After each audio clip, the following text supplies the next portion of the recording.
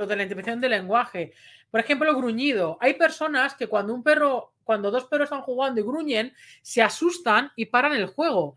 Y dicen, no, no, que se están poniendo agresivos. No, porque el gruñido forma parte también del juego. Pero es un tipo de gruñido en un contexto determinado que es el que nosotros tenemos que interpretar. Porque no es lo mismo el gruñido en, en un juego, pero que forma parte de un aviso hacia el otro perro de déjame ya en paz, a un gruñido que forma parte del juego en sí mismo.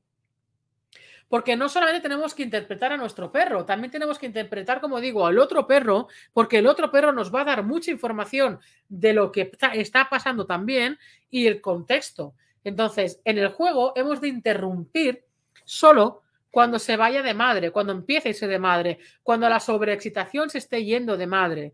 Entonces ahí sí que tenemos que parar el juego, calmar el ambiente, reposarlo, bajar revoluciones y luego volver a permitir que interactúen. Porque el juego no es negativo, el juego es aprendizaje también para los perros. Es que el juego forma parte del aprendizaje. Aprenden rituales, aprenden habilidades sociales, aprenden los límites de uno y otro, ¿vale? Pero hemos de saber cuándo parar.